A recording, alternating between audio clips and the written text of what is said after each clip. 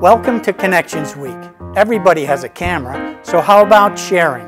Here at HCAM, we have a website dedicated to community photos, sceneinhopkinton.org. With nearly 50,000 pictures until October 25th, every photo submitted is a chance for an HCAM water bottle. So visit us, and thanks.